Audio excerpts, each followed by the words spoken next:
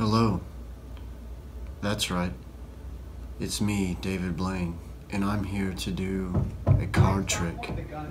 Don't let my subpar shuffling skills fool you. But first, I must eat pizza, because who can do magic on an empty stomach? It's about time you showed up with my pizza. Just kidding! It's the police! We know about the magic! You don't have your license. We know about the potions. Ladies and and we gentlemen. will have a warrant. Ladies and gentlemen, please Mike, cover remain me. calm. This is all part of the trick. Let me assure you, everything is going according to plan.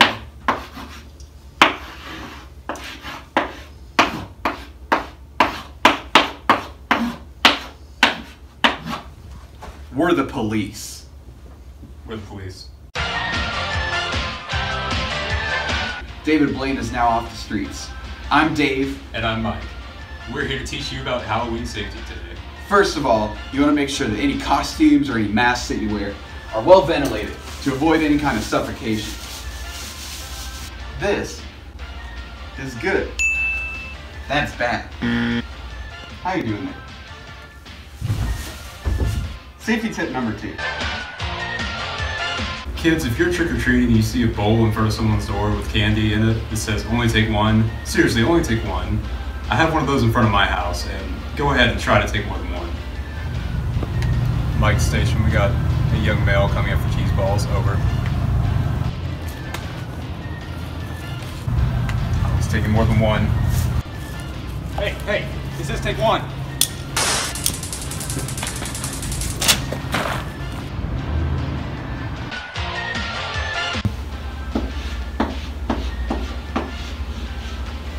Hey, didn't see you there. This Halloween, you might be tempted to go buy some bootleg fireworks from the back room of your local hardware store. But just don't. It never ends well.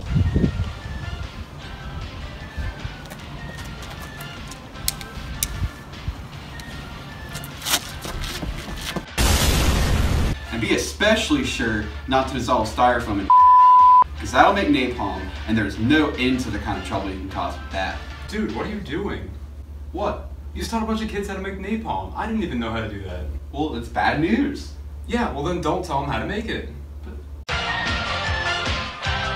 Okay, now comes the fun part. Going through your candy! Okay, so let's just go through some confiscated candy and other goodies that we found this Halloween. If you're one of these houses that gives out healthy items on Halloween, just stop it. So in one of these little um, gummy soda candies, we found a pair of uh, fingernail clippers.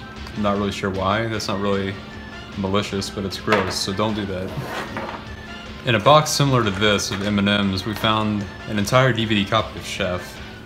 Um, this movie is rated R, so don't don't give these out to kids. That's not appropriate. And with this last one, we, ow, What, what is it? it's hot. Whoa, whoa. Mm. What'd you find with that one? Well, in this one, we found this mixtape CD. We keep finding these. DJ RV. D Jarvie. Dude, is that you? Uh, uh, yeah, that's my SoundCloud handle. Dude, quit giving out your mixtapes to kids. Well, now we know why the, they were so hot. But finally, have a safe and happy Halloween. Just use common sense. Alright, stand still.